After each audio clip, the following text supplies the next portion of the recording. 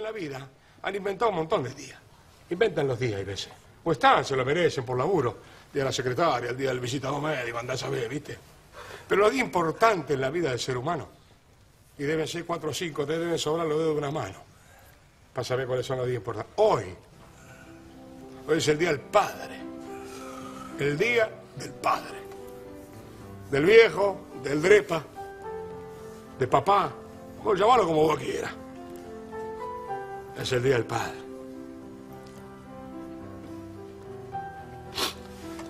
Entonces yo pensaba, ¿no? Cuando venía para acá, tener un hijo que no te conviertes en padre. No es tener un hijo nada más. Porque si no, yo tengo una pelota en mi casa, me convierto en ese jugador de fútbol, ¿no? Para ser padre vos tenés que tener ganas de ser padre. Tenés que aprender a ser padre. Tenés que esforzarte para ser padre.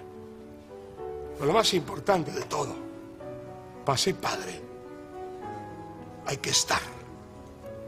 Hay que estar. Tu vieja te da la vida y tu viejo te enseña a vivirla, papá. ¿Cómo te enseña a vivirla? Y con la palabra, con el ejemplo, estando ahí, con el afecto, que es muy importante, pero también con los límites. Un viejo que pone límites te está enseñando a vivir. Es mucho más fácil no poner límites. Es mucho más fácil, soy papá porque soy papá. No, no es igual, ¿eh? No es igual. No es lo mismo ser un padre bueno que ser un buen padre. Para eso que estar ahí, cerquita de la jugada, con él, meterte en todo. Chicos, a los hijos les digo, papá se va a equivocar también. Porque es un ser humano. Le va a pifiar. Hay veces se le pifia. Pero que no le pifia es el mensaje que te da. Va a acordarte que siempre tu viejo te va a dar las herramientas para que vos salgas en la vida para adelante. Mi viejo no tenía mucho para dar. Mi viejo te miraba y ya te enseñaba. Y con el ejemplo te enseñaba el esfuerzo, la dignidad, la amistad, la lealtad, el amor de la familia. Tu vieja da el amor de la familia. El viejo la unifica. Y eso fue lo que nos dejó. Nosotros sabemos que tenemos todo ahora. Respeto por el otro, el uno a los otros. Eh. Oh, que está en tu casa hoy. Me pensé que es el día del padre, así porque sí. Es el día de tu padre. Y si está distanciado, porque puede estar distanciado. Puede hacer mucho que no lo ves, porque tengo mucho laburo, papá. Tu viejo está solo en casa. Tengo mucho compromiso. Tenés 10 minutos, tenés, para tomar mate. Si no pudiste, hoy es el día. Hoy es el día. Anda. El regalo no importa, ¿eh? El regalo sos vos. Que lo tenés. Va, lo abrazás y hace algo que mata piola. No preparé nada y no le dé bola a nada.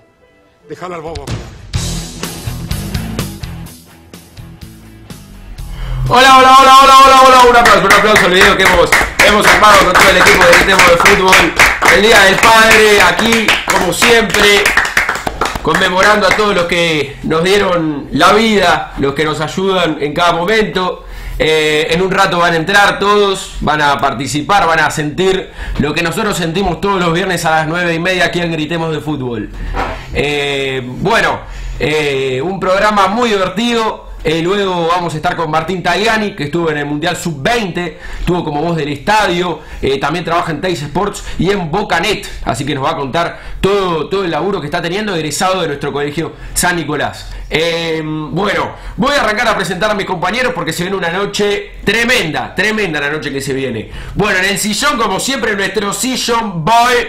Luca Rizzo, ¿cómo anda Luquita? ¿Todo bien? ¿Todo bien, Lucita? Todo bien, papá. Feliz. Bueno, eh, decime. San Lorenzo. Jugó San Lorenzo. Empatamos, al empate volvió. Y bueno, hay que levantar un trofeo, un torneo que ya está perdido, yo creo. Y que talleres como River y Boca nos van a pasar y porque son tienen mejor plantel y saben pelear un, tor- un torneo más que San Lorenzo. Ok, perfecto, perfecto. Bueno, en el córner izquierdo está el señor Juan Rodríguez, el que cubre Independiente y la selección argentina. Juancito, ¿cómo estás? ¿Todo bien? Todo bien, todo bien. Bueno, eh, Independiente que viene a ganar, cómodamente 2-0 contra Sarmiento. Argentina, que también viene de ganar. No, no vi un buen nivel, pero bueno, ganó. Y vamos a hablar de lo que va a pasar con Indonesia. Y bueno, y muchas cosas más. Perfecto, perfecto. Qué locura que se armó en China con la selección argentina. Muchos eh, chinos, las entradas se acabaron en 5 minutos. El para que se metió a la de- cancha. Entró El a que la entró a la cancha, muy divertido. Lo agarraron de 8. Bueno, ya lo escucharon en el corner derecho. Tengo al hincha número uno del Club Atlético Boca Juniors, Tomás Castel. ¿Cómo estás, Tommy? ¿Todo bien? Vemos. Bien, por suerte. Bueno, Boca que eh, viene de empatar de una forma mala con Lanús.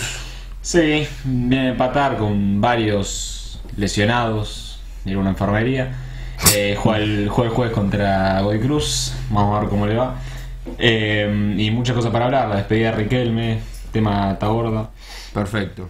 Perfecto, perfecto. Toda la información al instante de Boca. A mi izquierda tengo al señor Tomás Rodríguez, el hincha número uno de Racing Club de Llanera, con el escudo ahí en el pecho. ¿Cómo andás, Tommy? ¿Todo bien? Bien, todo bien. Bueno, eh, Racing que empató con Instituto. En Córdoba. Venía bien jugando instituto. Tiene un buen récord. Eh, bueno, eh, después vamos a hablar con, con Rodri de Racing, también va a estar Juancito Tocani desde siempre eh, desde Mar del Plata. Bueno, por último a mi derecha tengo al señor Ignacio Perotti, el hincha número uno del Club Atlético River Plate. ¿Cómo andas Nacho? ¿Todo bien? Contento me imagino, ¿no? Bien, bien. Ganamos en Libertadores. eh, en el torneo ahora jugamos mañana contra Defensa, el partido suspendido. eh, pero bueno, a River lo veo bien.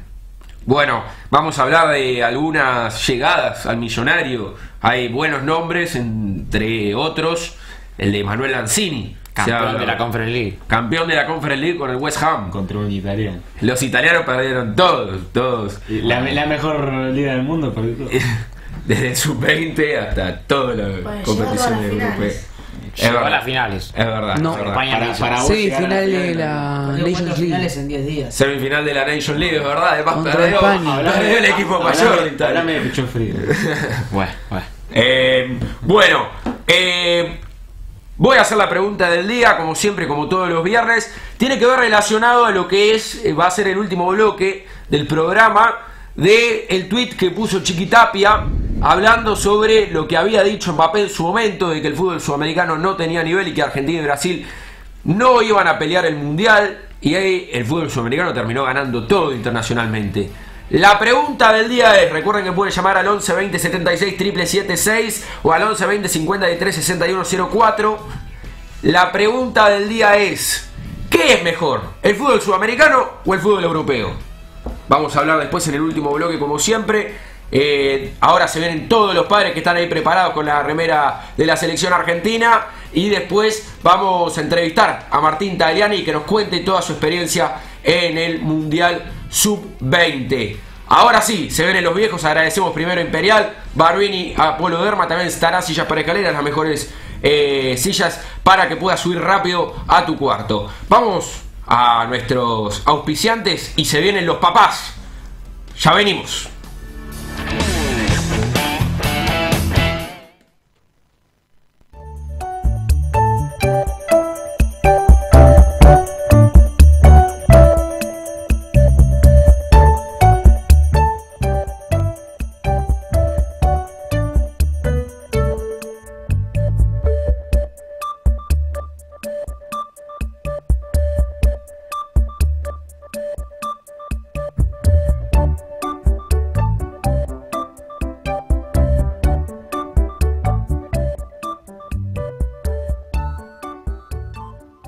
Si estás buscando tu hogar, sea casa, departamento, dúplex o tal vez un lugar para tener tu propio emprendimiento, no dudes en llamar a Inmobiliarias Barbini.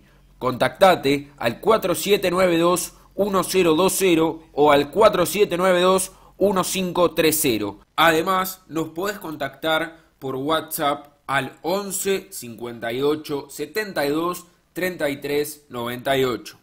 También, para más información, seguinos en todas nuestras redes sociales, arroba Barbini Propiedades, tanto en Instagram como en Facebook. Barbini Propiedades, desde 1948, tradición familiar. La espátula ultrasónica es la estrella del equipo.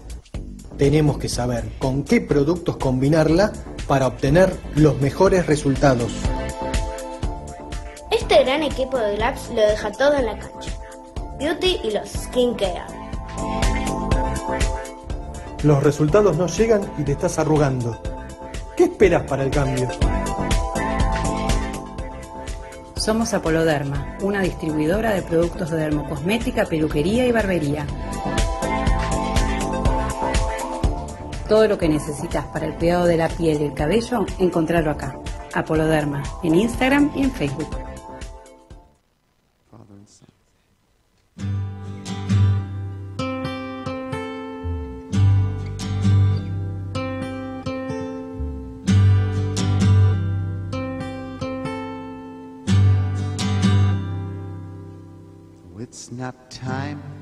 Make a change. Just relax, take it easy. You're still young, that's your fault. There's so much you have to know. Find a girl, settle down. If you want, you can marry. Look at me. I am old, but I'm happy. Oh, I was once like you are now. And I know that it's not easy to be calm when you found something going on.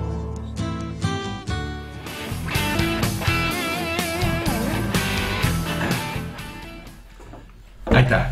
Hola, hola, hola, hola, querida gente linda de Gritemos de Fútbol, por favor no cambien de canal. Estamos lo que representamos a estos maravillosos muchachos que hoy día este, hacen Gritemos de Fútbol. Y así, mi nombre es José, mucho gusto. El padre de... El padre de Ju- Juan José. La criatura. Acá tenemos un enorme panel de distinguidos caballeros que a continuación cada uno se presentará. Bueno, empiezo yo. Eh, Eh, Gustavo, papá de Tommy, los racinguistas. Hincha de Racing. Hincha de Racing. Qué lindo. Bueno, Andrés, el papá de Juan Cruz, eh, hincha de Boca. Yo soy Charlie, el tío de Ale, hincha de boca.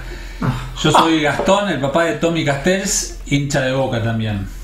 Yo soy Fernando, el papá de Nacho, hinchas los dos de River. Y el Bueno, Sillon Man que tenemos acá. Sillon. Man. Acá soy el representante de Luca, eh, yo soy el padre de corazón de Luca Rizzo y un honor estar acá y que nos estén acá sacando estos grandes muchachos que hacen el programa todos los viernes. Extraordinario. Realmente maravilloso y vamos a tratar de remarla ¿eh? para que entre todos podamos hablar de nuestro fútbol, no el fútbol de ellos, sino el nuestro fútbol, de nuestra, de nuestro momento futbolístico. Fútbol era el de antes. ¿Ah, sí?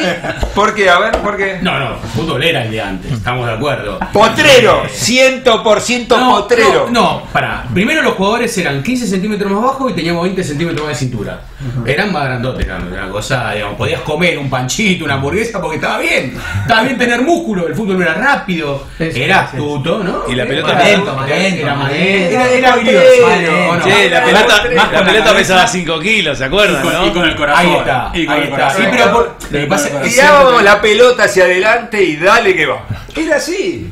Jugábamos todos. Todos. Jugábamos todos. Todos Jugaba el que no sabía jugar. Todos. El que el petizo, el alto, el más flaquito. Jugábamos todos.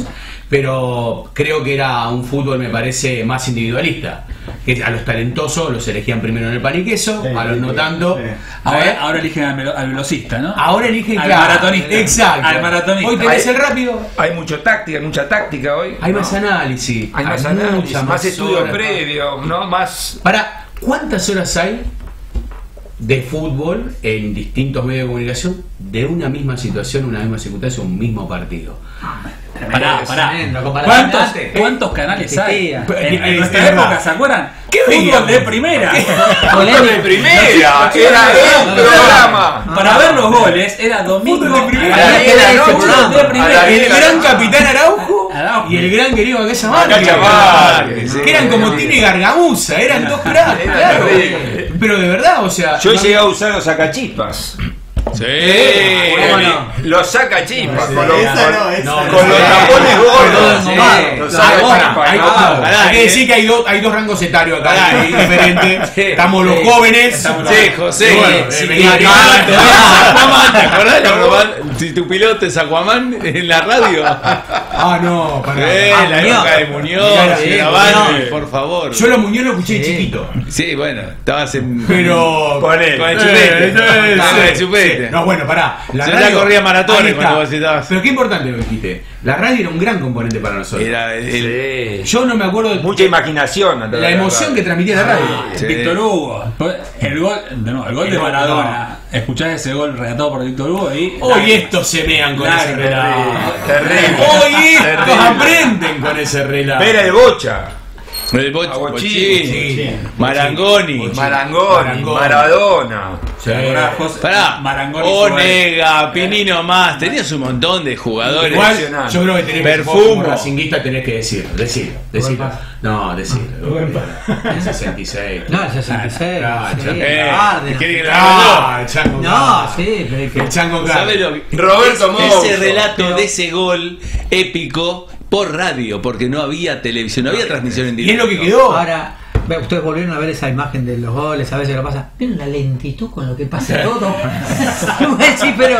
Necesitan hacer dos un pase claro, sí, pero corre. Claro, ponés dos X y le das velocidad. Y en términos de símbolos. lo que pesaba esa pelota y el tipo de mitad de Sí, cancha, eso la es verdad, de claro. ángulo, ¿eh? La pelota, los botines. Es verdad. El campo de fuego era. No, Sí, sí, sí. ¿Cuál- No, ¿Qué diferencia había entre la pelota? No, más pesada. 100 gramos. Mucho más. Y más grande. Había me 100 parece. gramos de pelota y 400 gramos de chorizo y asado jugadores. ahora, muchachos, si nos Tenemos que Cuando se identificar. mojaba, se volvía más pesada. Porque no eran materiales impermeables. Es verdad. Ten- Tenía cámara. Y tenía cámara. Es verdad, es verdad. Si El tenemos que no identificar Ah, con claro.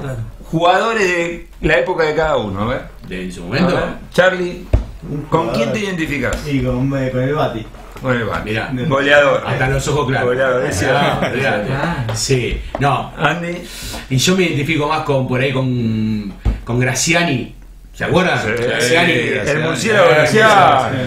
Me gustaba muchísimo. Para mí Graciani, y es más, en la época de Tapia, jugaban Graciani y Tapia juntos. Sí, Carlito Daniel Tapia. Este, sí, son dos jugadores que para mí, yo en, en mi época, después vino la torre, pero me acuerdo de Tapia, era un... Yo me voy más para atrás. También, también era bueno. Redondo. Vas y más atrás. Sí. Para. No, pues me interesa, vos tiraste A bueno, ver. bueno, tiraste El bueno. Sillon Man, ¿cuál tira? Sillon Man, El vos Rojitas. Será. No, claro. Sí. Pasa que yo a Roja, a Roja no, lo vi poco.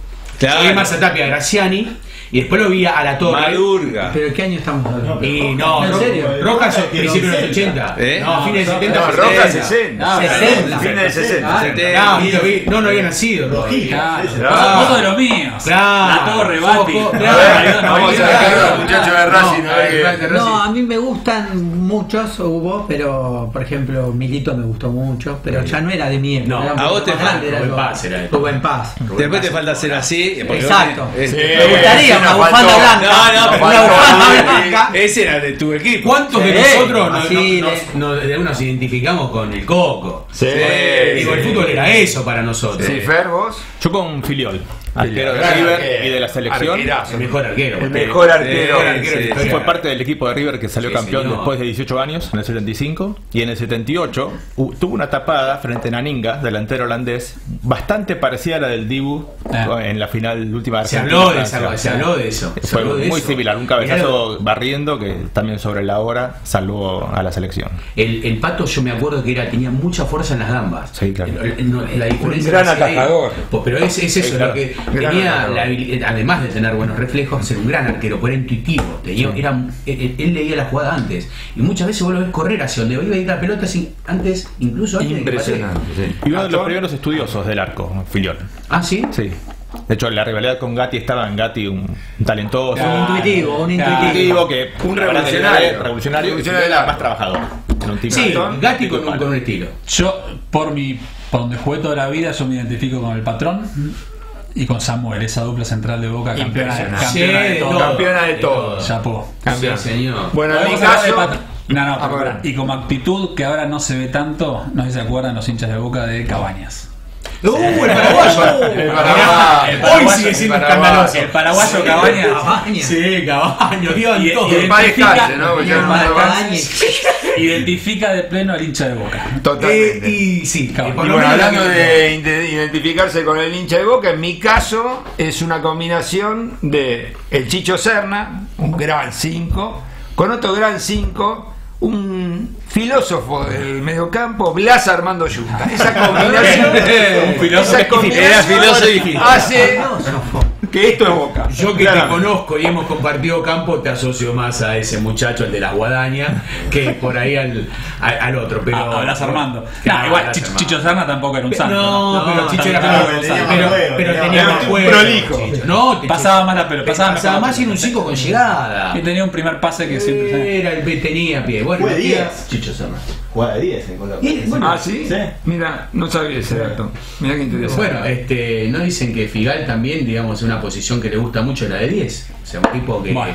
que sale- no, Figal sale bien, sale bien, tiene buen pie. Sí, igual. Se manda la Vamos, Y, vamos. eh, ¿Qué para nos queda alguno presentar con al señor? Jugador. Señor Man, ahí, jugador con No, de jugadores, eh, ya les dije, ¿Qué te Rojita, representa? eh, Madurga, un 5 que tuvo Boca extraordinario, y después la época de Román. Sí. Y sí. Impresionante. Eh, eh, más este, contemporáneo, decir, eh, pero uno- uno- eh, después, a ver, Y Maradona. Mara- pará, sí, pero Ratín, Marzolini, jugadores que fueron emblemáticos, Roberto Mouso. Mouso, El todo. jugador que de Boca que vistió más veces la camiseta Sí. y que fue único, o sea, su único club Marzolini. fue Boca. Marzolini. Bueno, pará, también había mucho de eso. Toda la Muchos carrera. jugadores, no había tanta, no había tanta No, rotación no, como no ahora. había tanta El rotación. jugador es como que se identificaba con la camiseta. Es más, me, me da la impresión de que en aquella época, no la impresión, hay datos de que es así, ¿no? Un porcentaje grande de jugadores eran este, simpatizantes de, Pero esa camiseta. es que era impensado que un jugador, por ejemplo, de River fuera a jugar a Boca o viceversa. Bueno, Era- pasó, era- pasó. Sí. Claro, pero ahí es cuando empieza a haber esos cambios, pero anteriormente No, se, se jugaba por la camiseta. Daniel Hermindo Nega jamás hubieran puesto, se hubieran puesto la camiseta de, No, de Boca. no, estamos de acuerdo. Yo pensado. creo que siempre me parece Maradona y, y Riquelme en nuestra época eran nuestros aspiracionales, digo, ¿no? Sí, era, sí. era el dibujo, digo, uno pensaba en una camiseta y pensaba en la camiseta de ellos o pensaba en el nombre de un jugador. Bueno, si hablamos de la evolución del fútbol, esa posición de enganche clásico desapareció. no existe más. No está mal. Hoy no, se hay, juega, hoy hoy- el hoy- jugador juega más, más parado. Juega más solo, Riquelme, ¿no? Este, Con la cabeza. claro, Riquelme Con- sí. con la cabeza. Lo que pasa es que bueno, Maradona trascendió todas las camisetas, todos los clubes y todo, ¿no? O sea, era eh, un jugador Bueno, intergaláctico. va- va de nuevo, o sea, Maradona te ganaba. Yo, mira, la vez pasada estaba repasando y le decía a Juan, ¿no? Digo, ¿cuál era? Porque él me preguntaba, para vos, ¿cuál es la mejor selección? ¿Cuál fue la mejor selección de la historia? Para mí esta. Esta, Esta selección que está fantástica. lejos. ¿Por qué? Porque el Mundial de Maradona teníamos buenos jugadores, pero no teníamos ni la, la- la táctica No, que, que la, la, táctica de Bilardo la- fue, fue eh, una de las cosas que hablábamos con Juan hoy es que Bilardo incorporó el, el, por No, ejemplo los sí. laterales volantes los carriles. Pero lo que digo stoppers, sí, lo- lo inventaron- no, estamos, pero no, pero no sé, no, pero no tenía quizás. eh, para mí, digamos, la selección argentina de hoy tiene equilibrio en todas sus líneas. Sí, es un Tiene, pero y además hay coordinación, hay táctica, hay estrategia. Vos ves que hay cosas que se repiten en todos los partidos, con No, lo cual lo- evidentemente se planifica. Lo otro que ha pasado es que, por ejemplo, en el último partido contra Australia, eh, jugaron con otro dibujo. O sea, Sí, pero cambiaron la posición. Cambiaron la posición. Lo, Sí, lo la posición, pusieron a, sí, a- a McAllister de doble 9 sí, junto con. pero- Bueno, yo, yo ahí, ahí discrepo. Para mí la selección del 86 es la mejor selección. Pero iba- ¿por qué te decía que para mí está la mejor ojo? Para mí fue excepcional la del 80. Pero el 86, como era otro fútbol, lo que digo es, era más físico e individualista, porque muchas veces esos, esos- esos- los partidos se definían por la jugada de, la jugada de uno. De hecho, Maradona ha ganado dos partidos, tres partidos solo en ese mundial. Y si vos ves, vas a, la- vas a los históricos, ves los videos, ¿Cómo puede ser Maradona un tipo tan talentoso, con un pie increíble, una cabeza y una visión increíble? Vos veías que le ponía la pelota a Valdano abajo del arco y la pifiaba.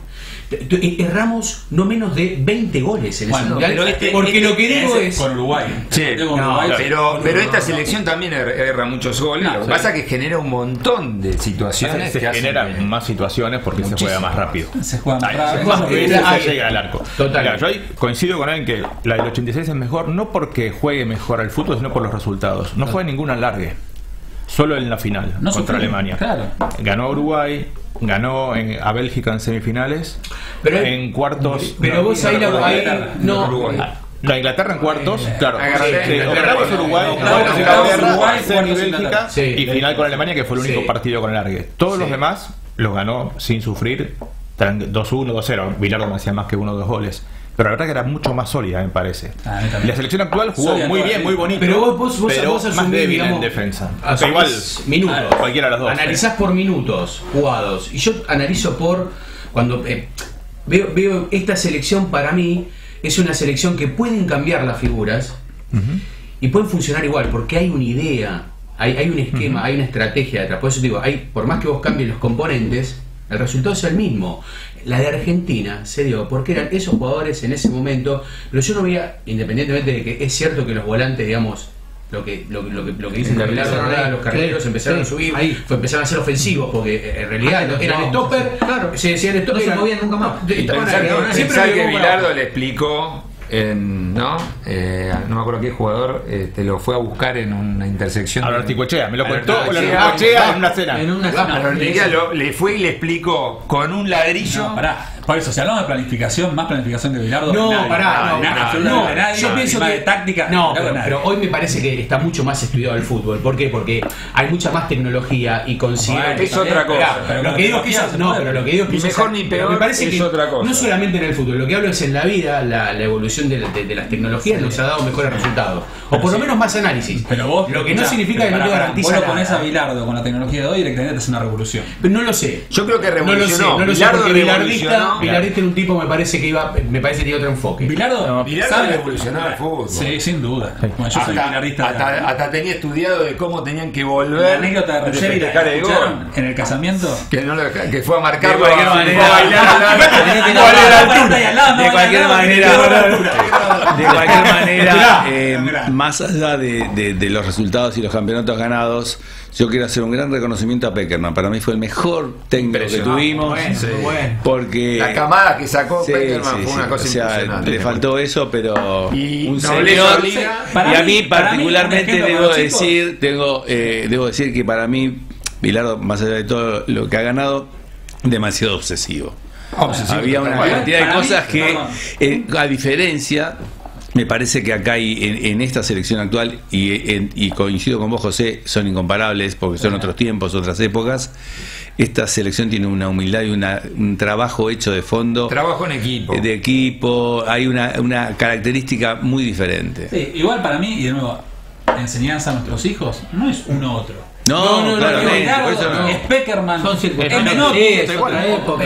Nuestro fútbol es maravilloso, es hermoso. Ni Messi ni Maradona, los dos. Lo Los que digo es que esta selección tiene circuito para el tipo de fútbol que por ahí a mí, a mí me gusta. Ah, en esta actualidad sí. Sí, tiene circuito, que es algo que yo no veía en la del 86. Y si entonces, yo te digo, en la evolución del fútbol, esta selección, yo creo que eh, para las épocas, la de Bilardo no era una selección, de- digamos, este distinta a las demás. Esta para mí sí era distinta a todas, ¿eh?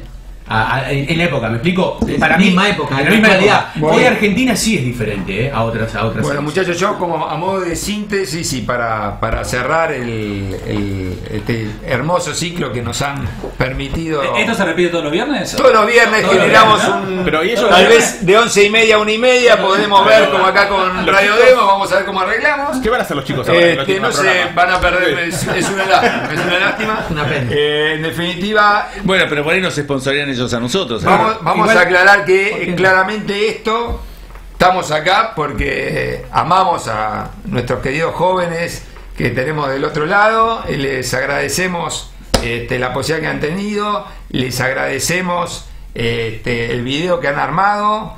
Antes que me olvide, por favor, un fuerte aplauso para Gastón que cumplió años.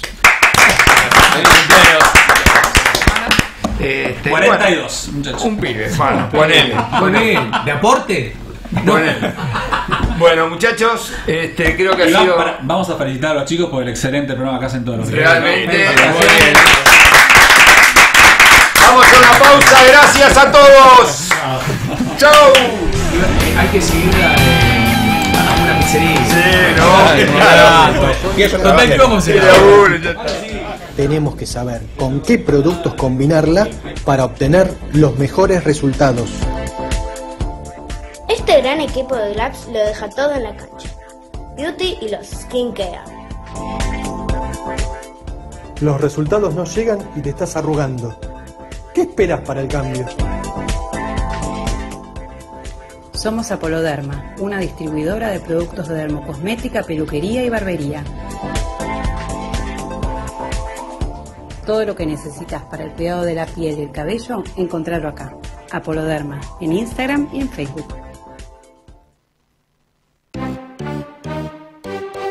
Desde Florida, Buenos Aires, República Argentina, para todo el mundo, en www.demos.com.ar.